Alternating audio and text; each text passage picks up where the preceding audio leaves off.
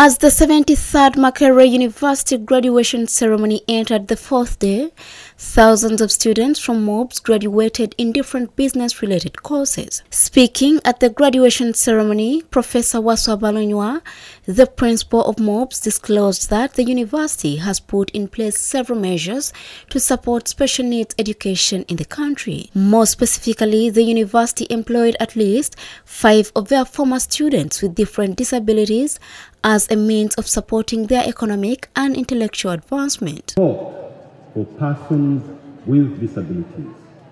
So, Vice Chancellor, sir, this year we have recruited about five uh, students now as staff, specifically identify them as persons with disabilities.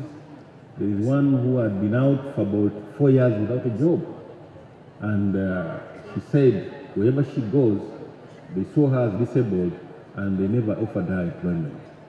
We have now got affirmative action and we are recruiting our staff, our students who with disabilities into our system. Balunywa also revealed that MUBS has joined the government of Uganda to preach knowledge about the parish development model. He says the university has introduced a number of programs to facilitate research and help learners understand the PDM. Councillor, you talked about the parish development model.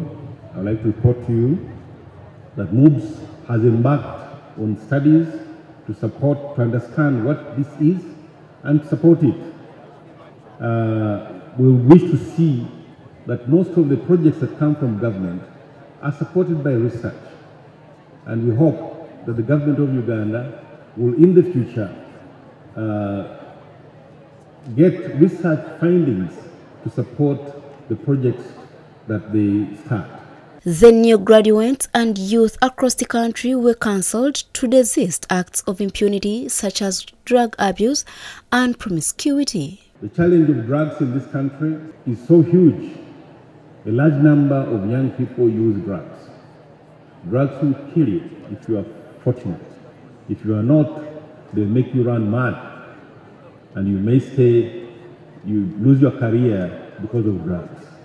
Please don't do drugs. Covered that they are not actually aware of what HIV AIDS means. HIV AIDS means. Because it looks, it's too far away from them. So, young people, uh, we say to you, uh, please, uh, of course, whenever we say some of these things, they laugh, abstain. We face a future that no one can foresee or foretell. Only God knows how the future will affect us individually, nationally, and globally. My personal experience, which spans eight decades, has taught me the value of trusting God. About 2,500 students graduated in different business related courses, and these include 17 that graduated with PhDs. Among the graduates was 27 year old Waswa Mubarak, who graduated with a bachelor's degree in business administration.